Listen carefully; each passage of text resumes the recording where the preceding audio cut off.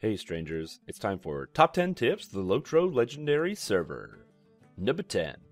Carry Wound, Poison, Disease, and Fear Potions. These effects are abnormally strong and will kill you at the early levels. The potions are super cheap, so make sure you stock up. Number 9. Play the class that you want to play. The balance of the game is all over the place, which you will hear me say a lot. As a result, most classes are suitable for pretty much anything, so play the class you want to play because raids and groups are surprisingly flexible. The server is more about the fun than the hardcore progression. Number 8. Invite people to your fellowships when questing. Low level zones are super full. There's people all over the place, so make sure you invite strangers to fellow with while you share kills and named monster kills to avoid being super bloated in the low level areas. It can be very frustrating when you have a million people trying to kill the same monster, so invite people to your party. It's a good way to make friends. Number 7. Don't bother with crafting while leveling. This might sound counterintuitive to a lot of Lord of the Rings Online players, but crafted items aren't currently scaling properly right now and will have significantly lower stats than the items on the landscape. Once you hit level 15, random gear is almost twice as strong as crafted gear, with it getting very extreme by the endgame where crafted gear is about 25% of the strength of random gear you get at level 50 from quests. Number 6. If you do decide to craft, get a Universal Toolkit.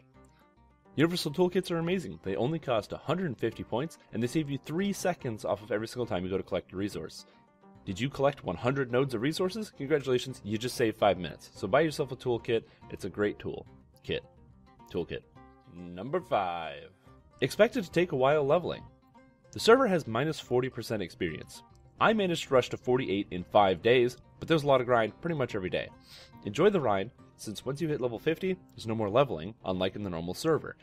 You can't just keep progressing, it's not going to 55, 60, and whatever for quite a long time. So make sure you explore areas that you never quested. Maybe go to Forochel, or Evendim, or Tal Brunnen, and try to really take in the world because you got a lot of time. Number 4. Don't expect loot from Groot dungeons.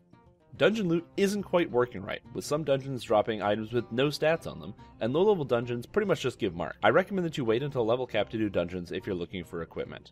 However, if you do want to do them for fun, I still recommend doing them because they are quite a lot of fun. Just don't have any high expectations for the gear that drops out of them. Number 3. Get at least one in combat power regeneration item. The stat is way, way overtuned right now. Having one or two in combat power regen items will give you unlimited power regeneration, which is extremely good for classes like minstrels or wardens.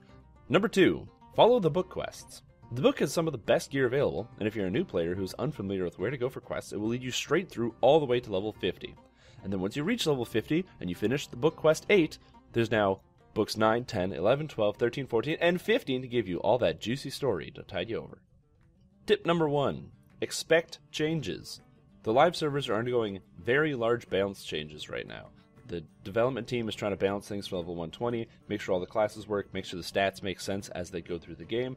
So, as a result, the lower levels are kind of all over the place, which is why crafting isn't in the right place and why in combat power regen items give you infinity power.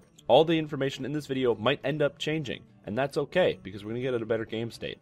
I'm sure crafting will get improved, damage over time effects will get fixed so they don't instantly kill you in low levels, and in combat power regen will get nerfed at some point. So be flexible and don't get set on anything since more changes are going to be coming.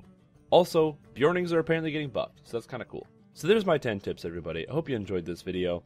For those of you that still don't know where to go, I'm going to give you a quick rough leveling path for getting all the way through the game. So check this one out. So to start, do your starter area up to level 15. If you're a hobbit, that is the Shire. If you're a elf, high elf, or dwarf, that's Ered Luin.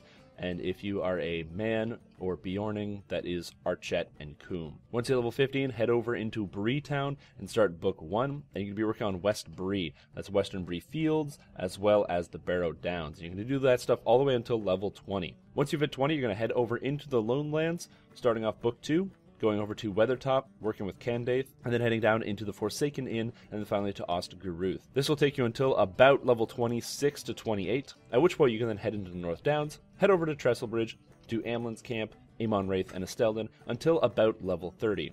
Once you've hit level 30, that's when you want to head over to Evendim, starting with Oatbarton, then going to Dwaling, to King's Crossing, to Tinnudir, to Ostforod, and doing all the quests here, since there's a lot of them, and they're pretty concentrated, is going to take you to about level 36 to 38. At this point, you're then going to head over to the Trollshaws, go over to Barachen's camp, and do all the quests out there over to Thorenhad as well as Talbrunnen.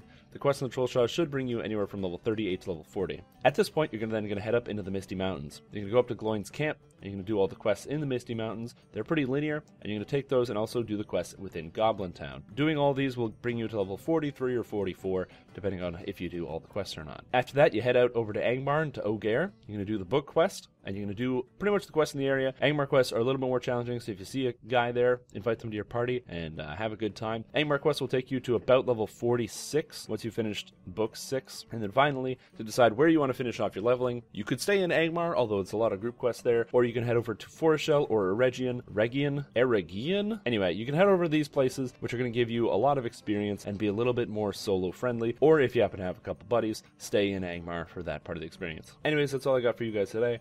Sorry about my terrible voice. I'm very sick because that's just that's just how life is. So anyway, I'm gonna I'm gonna stop recording this video. So thank you guys for watching. If you have any questions about Lord of the Rings Online or you want to know anything else, leave a comment down below, and I might answer you. I might not. I'm still sick. Blah. Okay, thanks for watching. Bye bye.